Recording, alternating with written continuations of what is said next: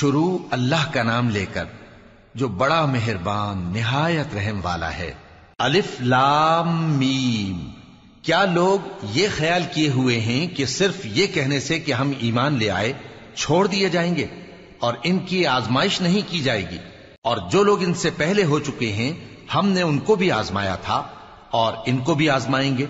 सो अल्लाह उनको ज़रूर मालूम करेगा जो अपने ईमान में सच्चे हैं, और उनको भी जो झूठे हैं।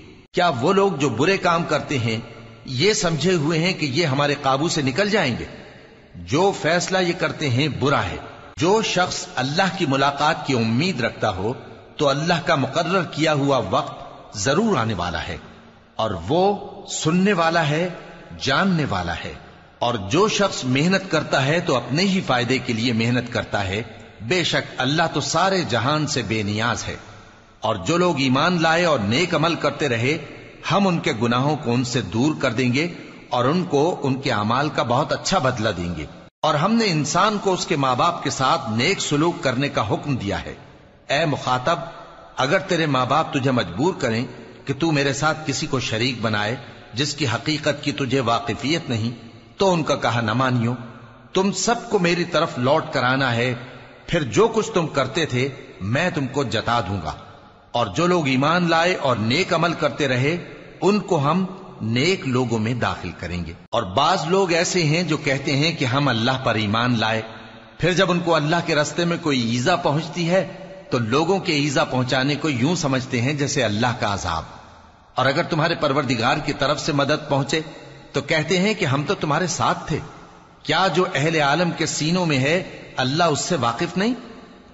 और अल्लाह उनको ज़रूर मालूम करेगा जो सच्चे मोमिन हैं, और वो मुनाफिकों को भी मालूम करके रहेगा, और जो काफिर हैं, वो मोमिनों से कहते हैं कि हमारे तरीके पर चलो, और हम तुम्हारे गुनाह उठा लेंगे। हालाँकि वो उनके गुनाहों का कुछ भी बोझ उठाने वाले नहीं। कुछ शक नहीं कि ये झूठे हैं, और ये अपने बोझ भी उठाएँगे, और अपने बोझों के साथ और लोगों के बोझ भी। और जो झूठ ये लोग घड़ते रहे कयामत के दिन उनकी इनसे ज़रूर पुरसिश होगी। और हमने नूह को उनकी कौम की तरफ़ भेजा तो वो उनमें पचास बरस कम हज़ार बरस रहे। फिर उन लोगों को तूफ़ान के अजाब ने आ पकड़ा और वो जालिम थे। फिर हमने नूह को और कश्ती वालों को नजात दी और कश्ती को अहले आलम के लिए निशानी बना दिया। और इब्राहिम को याद करो, जब उन्होंने अपनी कौम से कहा कि अल्लाह की इबादत करो और उससे डरो, अगर तुम समझ रखते हो तो ये तुम्हारे हक में बेहतर है। तुम तो अल्लाह को छोड़कर बुतों को पूजते और झूठी बातें बनाते हो। जिन लोगों को तुम अल्लाह के सिवा पूजते हो, वो तुमको रिस्क देने का इख्तियार नहीं रखते। बस अल्लाह ही के यहाँ से रिस्क तलब करो और उसी की इबादत करो और उसी का शुक्र करो। उसी की तरफ़ तुम लौट कर जाओगे। और अगर तुम झुटलाते हो तो तुमसे पहले भी उम्मतें अपने पैगंबरों की तकजीब कर चुकी हैं। और पैगंबर के जिम्मे खोल कर सुना देने के सिवा और कुछ नहीं। क्या उन्होंने नहीं देखा कि अल्लाह किस तरह खलकत को पहली बार पैदा करता है, फिर किस तरह उसको दोबारा पैदा करेगा? यह अल्लाह को आसान है। कह दो कि मुल्क में चलो फिरो और देखो कि उसने किस तरह खलकत को पहली दफ़ा पैदा किया है, फिर अल्लाह ही दूसरी बार भी पैदा करेगा। बेशक अल्लाह हर चीज़ पर कादिर है। वो जिसे चाहे अजाब दे और जिस पर चाहे रहम करे और उसी की तरफ़ तुम लौटाए जाओगे। और तुम उसको न ज़मीन में आजिज कर सकते हो, न आसमान में। और न अल्लाह के सिवा तुम्हारा कोई दोस्त है और न मददगार। और जिन लोगों ने अल्लाह की आयतों से और उसके सामने हाजिर होने से इनकार किया, वो मेरी रहमत से ना उम्मीद हो गए हैं और उनको दर्द देने वाला अजाब होगा। तो उनकी कौम के लोग जवाब में बोले तो ये बोले कि इसे मार डालो या जला दो। मगर अल्लाह ने उनको आग में जलने से बचा लिया जो लोग ईमान रखते हैं, उनके लिए इसमें निशानियाँ हैं। और इब्राहिम ने कहा कि तुम जो अल्लाह को छोड़कर बुतों को ले बैठे हो तो दुनिया की ज़िंदगी में बाहम दोस्ती के लिए, मगर फिर कयामत के दिन एक दूसरे की दोस्ती से इनकार कर दोगे, और एक दूसरे पर लानत भेजोगे, और तुम्हारा ठिकाना दोजख होगा, और कोई तुम्हारा मददगार न होगा। बस उन पर एक लूत ईमान लाए और इब्राहिम कहने लगे कि मैं अपने परवरदिगार की तरफ़ हिजरत करने वाला हूँ। बेशक वो गालिब है, हिकमत वाला है। और हमने उनको इसहाक और याकूब बख्शे और उन्हीं की औलाद में पैगंबरी और किताब रख दी और उनको दुनिया में भी उनका सिला इनायत किया और वो आखिरत में भी नेक लोगों में होंगे। और लूत को याद करो, जब उन्होंने अपनी कौम से कहा कि तुम अजब बेहयाई के मुर्तकिब होते हो, तुमसे पहले अहले आलम में से किसी ने ऐसा काम नहीं किया। क्या तुम मर्दों की तरफ़ मायल होते और राहजनी करते हो और अपनी मजलिसों में नापसंदीदा काम करते हो? तो उनकी कौम के लोग जवाब में बोले तो ये बोले कि अगर तुम सच्चे हो तो हम पर अजाब ले आओ। लूत ने कहा कि अय मेरे परवरदिगार, इन मुफसिद लोगों के मुकाबले में मुझे नुसरत इनायत फरमा। और जब हमारे फरिश्ते इब्राहिम के पास खुशी की खबर लेकर आए तो कहने लगे कि हम इस बस्ती के लोगों को हलाक कर देने वाले हैं, कि यहाँ के रहने वाले नाफरमान हैं। इब्राहिम ने कहा कि इसमें तो लूत भी हैं। वो कहने लगे कि जो लोग यहाँ रहते हैं, हमें सब मालूम है। हम उनको और उनके घर वालों को बचा लेंगे बजुज उनकी बीवी के, कि वो पीछे रहने वालों में होगी। और जब हमारे फरिश्ते लूत के पास आए तो वो उनकी वजह से नाखुश और तंग दिल हुए। फरिश्तों ने कहा, कुछ खौफ न कीजिए और न रंज कीजिए। हम आपको और आपके घर वालों को बचा लेंगे, मगर आपकी बीवी के पीछे रहने वालों में होगी। हम इस बस्ती के रहने वालों पर इस सबब से कि ये बदकिरदारी करते रहे हैं, आसमान से अजाब नाजिल करने वाले हैं। और हमने समझने वाले लोगों के लिए इस बस्ती की एक खुली निशानी छोड़ दी। और मदियन की तरफ़ उनके भाई शुएब को भेजा। तो उन्होंने कहा, ए कौम, अल्लाह की इबादत करो और रोज आखिर के आने की उम्मीद रखो और मुल्क में फसाद न मचाओ। मगर उन्होंने उनको झूठा समझा। सो उनको जलजले के अजाब ने आ पकड़ा और वो अपने घरों में औंधे पड़े रह गए। और आद और समूद को भी हमने हलाक कर दिया, चुनाचे उनके वीरान घर तुम्हारी आँखों के सामने हैं। और शैतान ने उनके अमाल उनको आरास्ता कर दिखाए और उनको सीधे रस्ते से रोक दिया। हालाँकि वो देखने वाले लोग थे। और कारून और फिरौन और हामान को भी हलाक कर दिया और उनके पास मूसा खुली निशानियाँ लेकर आए तो वो मुल्क में मगरूर हो गए। और वो हमारे काबू से निकल जाने वाले न थे। तो हमने सबको उनके गुनाहों के सबब पकड़ लिया। सो उनमें कुछ तो ऐसे थे जिन पर हमने पत्थरों का मेह बरसाया, और कुछ ऐसे थे जिनको चिंगाड़ ने आ पकड़ा, और कुछ ऐसे थे जिनको हमने ज़मीन में धसा दिया, और कुछ ऐसे थे जिनको गर्क कर दिया।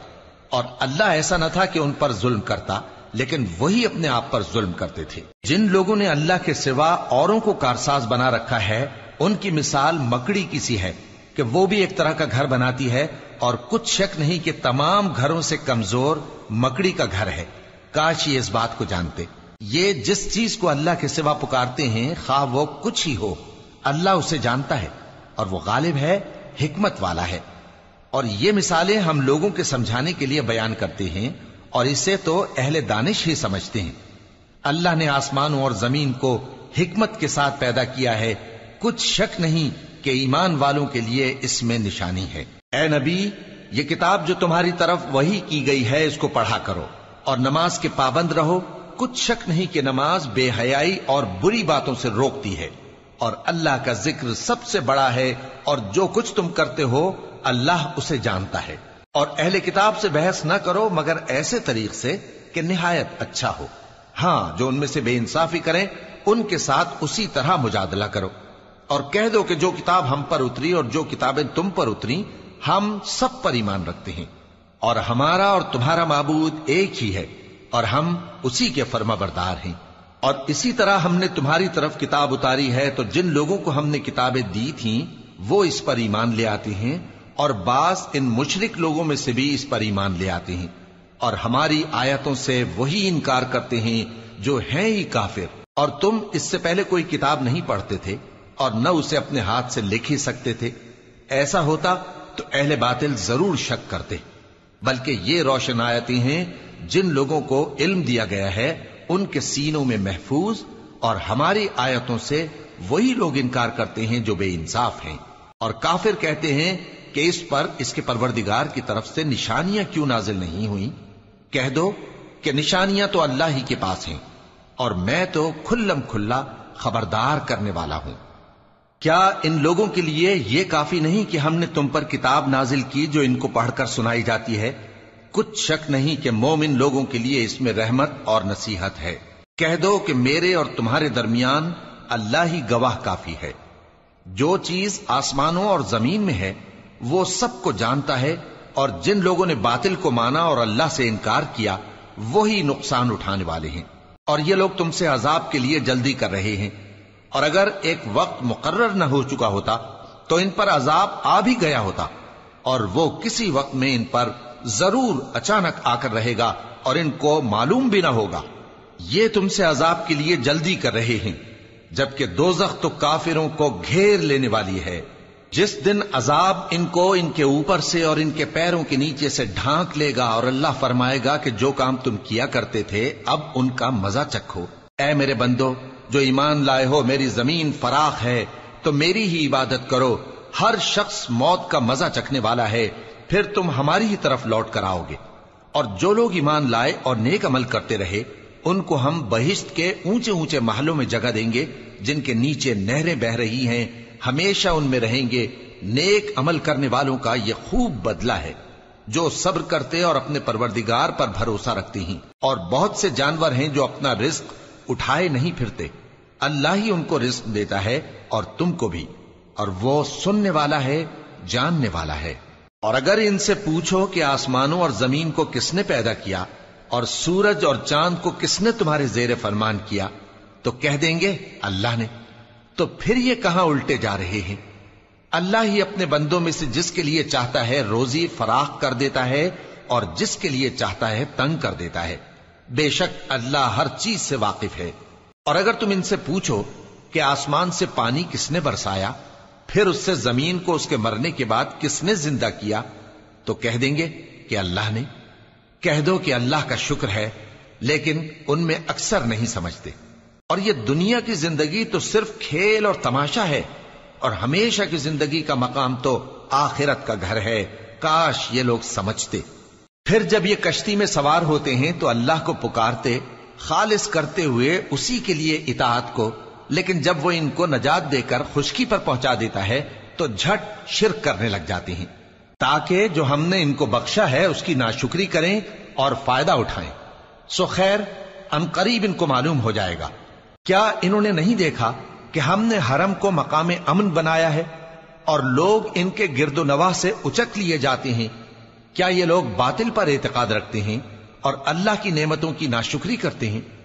और उससे बड़ा जालिम कौन जो अल्लाह पर झूठ बोहतान बांधे? या जब हक बात उसके पास आए तो उसकी तकजीब करे?